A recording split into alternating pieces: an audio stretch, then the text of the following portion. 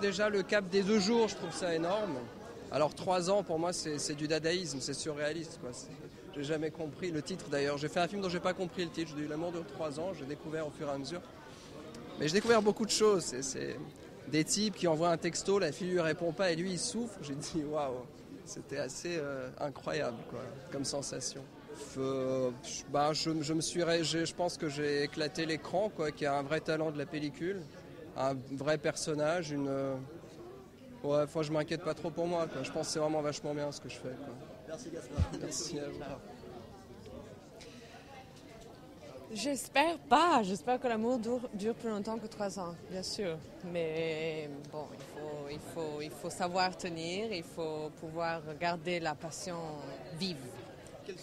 Oui, moi j'ai trouvé ce tournage super, même si, bon, pour moi c'était très court parce que j'ai un petit rôle, mais euh, j'ai adoré travailler avec Frédéric, Gaspard. J'ai pas vu beaucoup Louise parce qu'on n'a pas de scènes ensemble, mais toute l'équipe était formidable. On a beaucoup, beaucoup rigolé et j'ai appris. Et pour moi, voilà, la dimension de la comédie, était, comédie romantique était une découverte, donc je suis vraiment ravie.